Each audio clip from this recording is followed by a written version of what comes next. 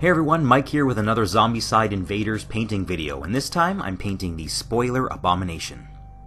As you can see, there was a gap in one of the shoulders that I filled with green stuff, and I decided that I'd remove the model from the base to make it easier to paint and film.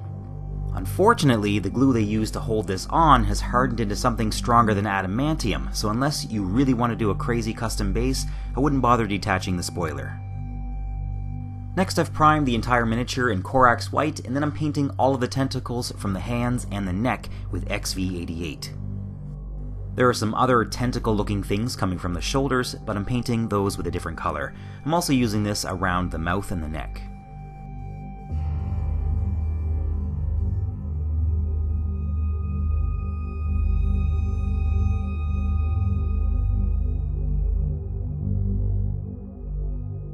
For all the little barnacle looking structures, which I assume are what produce the spoiler's mold, I'm using a roughly 2 to 1 mix of Screamer Pink and XV88. Just mix the colors until you get something with a deep pink flesh color.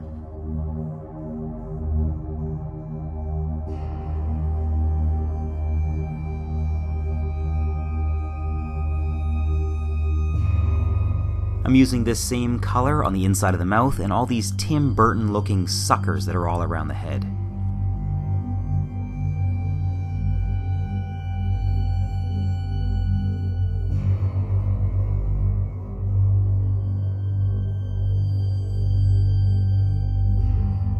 I'm still going with the same color, this time on the tubes on the forearms.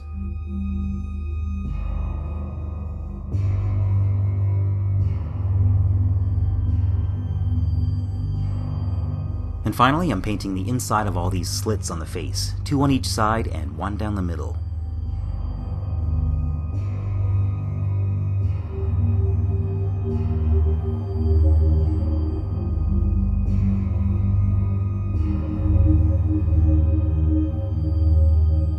Next up is the main body. I wanted something fleshy but not too human looking, so I went with Rakarth flesh. Now if you want to save yourself a lot of time, you could use a contrast paint for this part. Painting and highlighting the main body was the most time consuming part of this model. I've only ever used two different contrast paints, so I can't give the best advice on which would look best for the skin, but I'd likely go with Skeleton Horde. Next I'm going to paint the claws and the strange crystals protruding from the body. I'm mixing roughly equal amounts of Mephiston red and Abaddon black to create a dark, desaturated red for the base coat. I'm putting one or two layers of this onto the three body crystals and the claws. At this point I forgot to paint the toe claws and I had to come back to them later, but if you're following this guide, you might as well paint them now.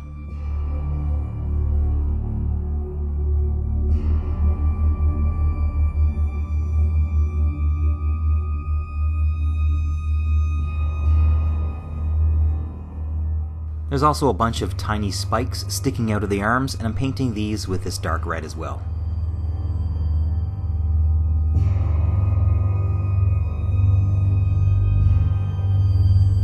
For the tentacles or feelers coming from the top of the body, I'm using Khardic Flesh from P3.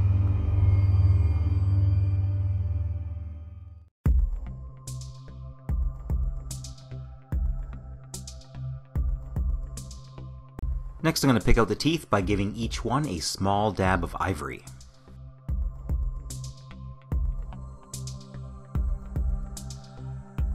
That's all the base colors on, I'm switching to a wash next. I didn't want anything too harsh or dark since the skin is so light, so I'm using equal parts Lahmian Medium and Agrax Earthshade. This wash is going over the entire miniature. As I go, I'm also doing my best to mop up any large areas of pooling.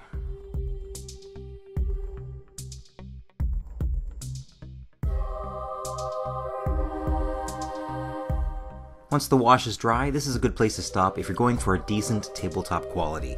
In the next part of this video, I'll be adding a few extra touches and highlights. I'm going to start off with a highlight of all the little structures on the gut. They look a bit like tiny mouths. I'm just going to do a light dry brush using two parts Midlund Flesh and one part Screamer Pink. I've wiped off most of the paint from my brush and I'm just lightening up all the raised parts. Next I'm switching to a smaller detail brush and I'm using this same color to trace around the outer edges of these suckers on the end of the stalks. And I'm also using this color to highlight the tops of all the ridges in the arm tubes.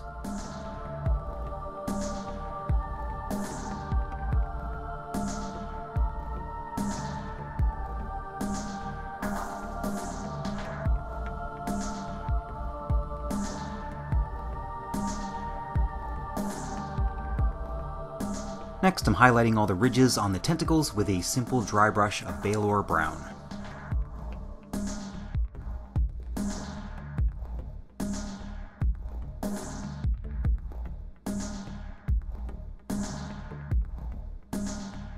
For harder to reach places like the neck and the tentacles running down the torso, I'm switching to a size 1 brush and thinning the Balor brown down a bit with water.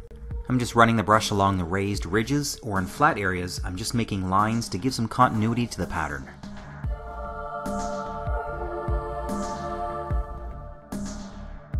Then I'm just doing an edge highlight to any areas that didn't turn out as bright as I wanted with the dry brushing.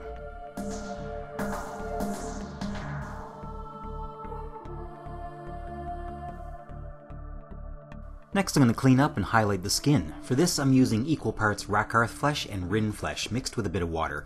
If you don't have a light flesh tone, you can go with a bit of ivory or pure white instead. My strategy for this is to paint the top two thirds of the flesh, leaving the underside darker. I'm also avoiding the deepest grooves between the muscles. I'm leaving a thin dark line of shade between any two structures as well, such as between the tentacles and the skin, or the claws in the hands. To make some areas appear brighter, such as the top of the head and the face, I used pure Ryn flesh as a second layer of highlight.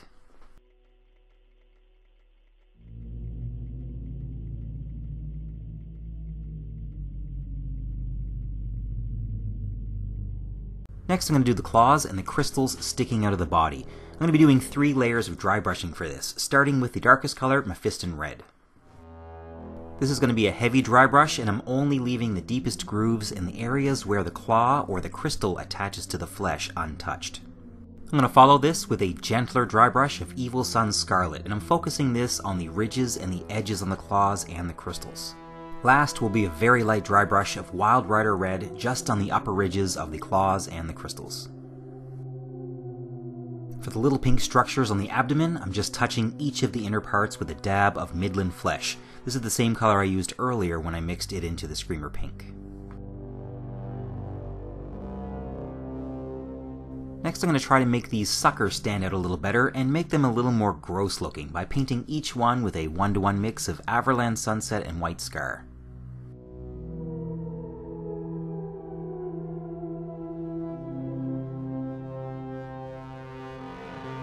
For the feelers, I'm going back to my lighter skin tones. I'm starting off with Midlund Flesh and painting the top two thirds of the feelers. I'm then following that up with Ryn Flesh and painting the top one third. And it was at this point where I realized I hadn't painted the toe claws red, so I'm doing that now with my red and black mix. I want to do the eyes next, but the sockets aren't dark enough, so I'm painting the inside of these with a dark brown.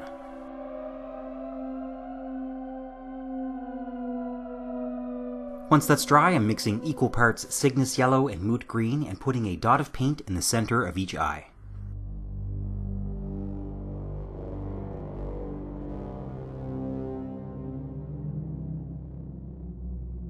For the teeth, I'm just doing a quick retouch with the original ivory.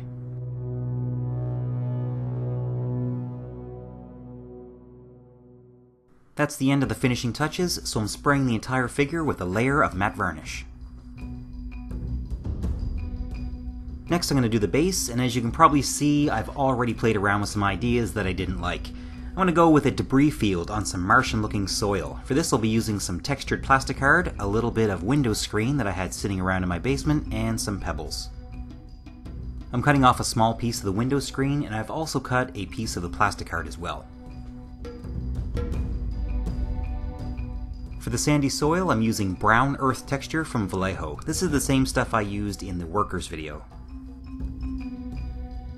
Once the base is covered, I'm adding the bit of plasticard and the window screen. You don't need plasticard here, by the way. Any piece of old, bent plastic or sprue can be painted to look like debris.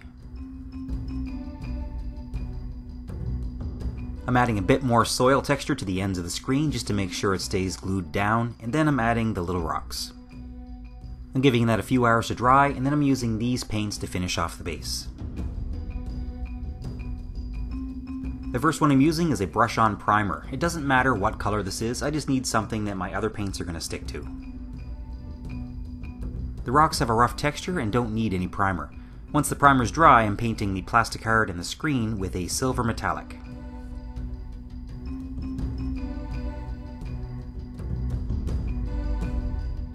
The rocks are getting painted with rough iron from Army Painter, which is a deep reddish gold color. Next I'm using Reikland Fleshshade on the entire base. Once that's dry, I'm going to lighten up the top of the soil with a dry brush of Zandri Dust. As an optional final step, I'm going to add a bit of rust to the metal using a few splashes of Typhus Corrosion, followed by some orange rust from Secret Weapon.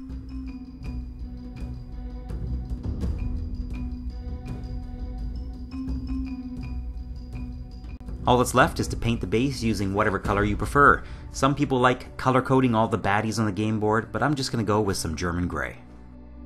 And of course you'll want to spray the base and even the miniature again with some more matte varnish. And there you have it, the spoiler abomination ready to pollute your space stations and planet-side habitats. Thank you very much to all my patrons for supporting the channel, and thanks for all your suggestions and votes in Discord and Patreon to help decide which videos get made. Also, a very special thanks to Brian Jones for sponsoring the channel. If you have any questions or comments, please feel free to use the comment section below. I respond to every question as quickly as I can. I hope you enjoyed this video, and thank you for watching.